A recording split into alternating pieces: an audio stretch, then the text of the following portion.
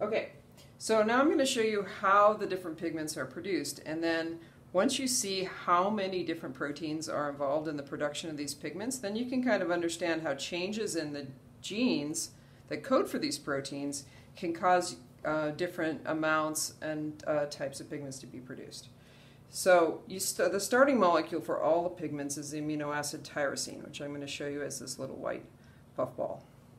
So the OCA2 protein is a channel that allows the tyrosine to enter the melanosome.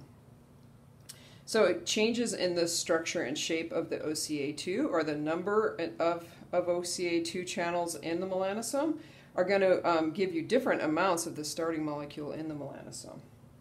So once you have tyrosine, the uh, TYR um, enzyme, that's um, tyrosinase, is going to take the tyrosine and turn it into DOPA. So we're going to have it go into the active site, and then when it comes out, it's going to be a different molecule, which is DOPA. So now DOPA has two different pathways it can go. It can go this way, um, in which it's going to be, become the brown pigment and the black pigment. Or a different enzyme could work on it, and then it would become the pheomelanin, which is the, the reddish-orange uh, pigment. So let's go this pathway first. Okay, so if we have DOPA, this enzyme is going to turn it into dopaquinone. And then this membrane-bound uh, enzyme, uh, TRP1, will turn dopaquinone into the brown pigment.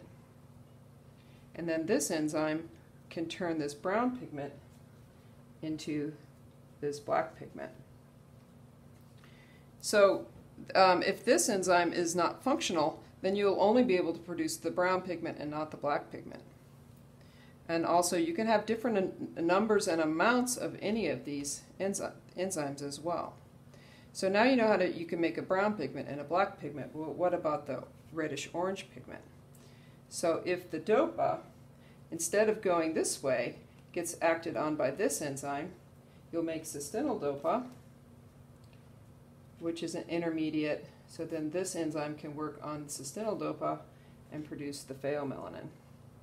So now you have all the three different kinds of pigments that could occur in skin. So the different amounts of these three pigments can account for how much pigment and what color the pigments are in the melanosome, which is going to uh, uh, affect how much pigment is in the skin cell.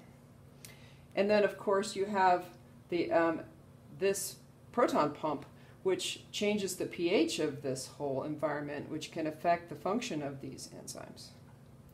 And then another um, factor is, of course, going to be the shape of the um, MC1R receptor so that it can bind the different signaling proteins differently so that you can signal the genes to produce more or less of all of these enzymes.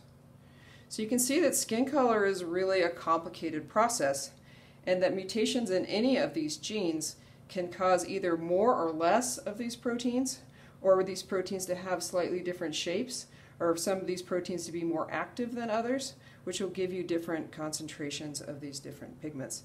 And of course, the environment is also involved because you'll get more of the um, signaling molecules if you have skin uh, damage from UV light, you'll get more of the alpha MSH and that will cause you to produce more of these proteins, which give you more pigment.